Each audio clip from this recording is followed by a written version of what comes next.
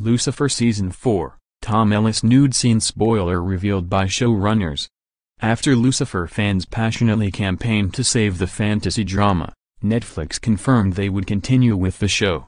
In a tweet on the official Netflix account, fans were told, Fans, your voices have been heard. Season 4 coming to Netflix. The streaming giant has yet to announce a firm release date for Season 4 but work is underway after co-showrunner Joe Henderson confirmed that production would be starting soon. August-ish? But speculation amongst fans has been circling. Now that Lucifer is being shown on Netflix, the same rules and regulations regarding watershed timings and storylines don't apply to streaming services.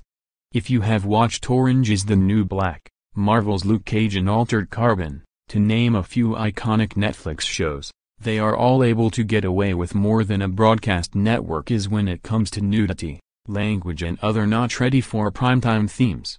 That freedom would have been handy during Lucifer's first season on Fox, specifically during an iconic encounter between the titular devil and romantic interest Chloe Decker, played by Lauren German.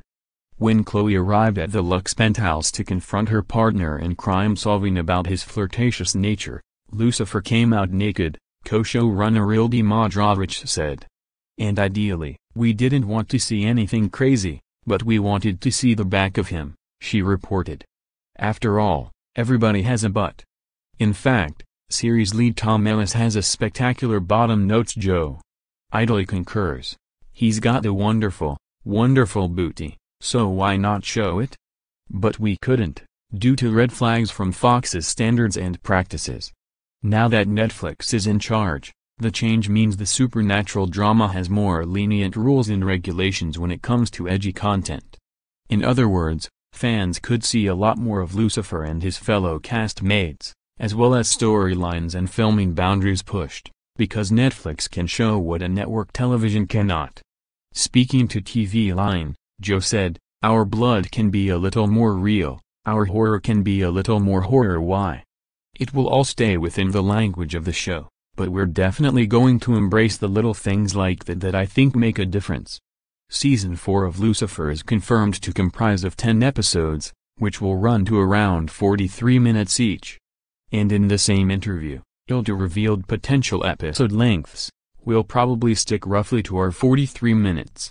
That's part of what we're going to talk to Netflix about. I think we might have a bit of room for flexibility, hopefully, so if there's a scene we love and we don't want to cut it, we're hoping that now we won't have to. However, the 10 episodes are going to be split in half with the first 5 airing before a season break. Modrovich explained, we were going to have two parts to it anyway, so we'll just tell a really strong, gnarly first part. It comes after Fox axed the show back in May, following poor viewer ratings leaving Lucifans across the world distraught and fighting to find a new home for the program. Lucifer Season 4 is currently in production,